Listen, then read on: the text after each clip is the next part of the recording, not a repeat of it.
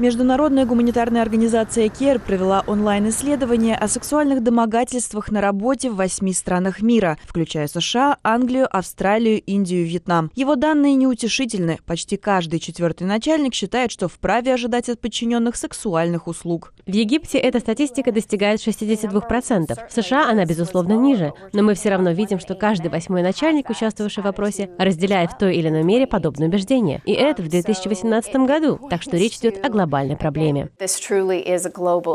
Движение МИТУ, однако, уже меняет корпоративный мир, отмечает консультант Давия Тимин. Пиар-специалист отмечает, что сегодня инвесторы не спешат вкладывать деньги в компании, где инциденты с подобными нарушениями остаются без должного внимания менеджмента. Сегодня я вижу, как корпоративные советы становятся все более ответственными. Теперь в них привлекается больше женщин. Теперь они задумываются о репутационном риске. В них участвует все больше новых людей, их разнообразие расширяется. И именно эти усилия помогают добиваться того, что сегодня мы чаще, чем раньше, правильно поступаем.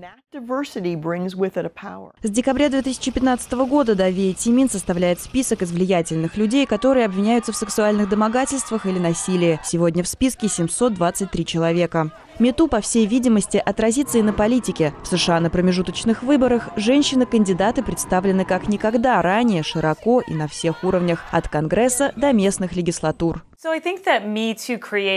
Движение МИТУ создало и поддерживает общественный климат, в котором мы чаще задаемся вопросами о дисбалансе власти, особенно между мужчинами и женщинами. И если вы приглядитесь, то увидите, что этот дисбаланс присутствует во всех наших институтах. Вы увидите, что женщин нет за каждым из этих столов переговоров, их меньше на позициях власть имущих, и тех, кто принимает важные решения. Некоторые американцы считают, что МИТУ уже приносит свои плоды. Движение однозначно повлияло на то, как я воспитываю своих дочерей и готовлю их к определенным ситуациям. Я стал чаще замечать, насколько сильно дискриминация давлеет над нашим обществом. МИТУ открыла мне глаза, и увиденное шокировало меня. Я думаю, что МИТУ принесло обществу пользу. Оно проливает свет и обращает внимание на то, что раньше было скрыто. МИТУ имеет важное значение для женщин по всему миру, и в частности тех, кто стал жертвой сексуального насилия или домогательств.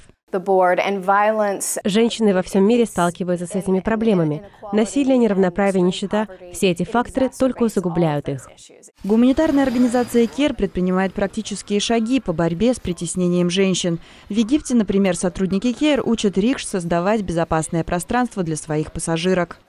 Но можно ли решить наболевшие проблемы, опираясь только на мету? Когда-нибудь миру придется провести черту и сказать, что так больше нельзя. Я думаю, мы достигли этой черты. Я уверена, что у каждой женщины в жизни был момент мету, и мы все себя спрашиваем, а я правильно тогда повела себя? И очень многие из нас признают, что в тот момент побоялись защитить себя. Как бы мы поступили сегодня? Думаю, что я до сих пор боюсь. Страх того, что на меня набросится с критикой за самозащиту, еще очень силен. Что означает, что миру еще предстоит долгая дорога на пути к полному и подлинному освобождению женщин. И не только от моментов мету, но и страха открыто выступить против них.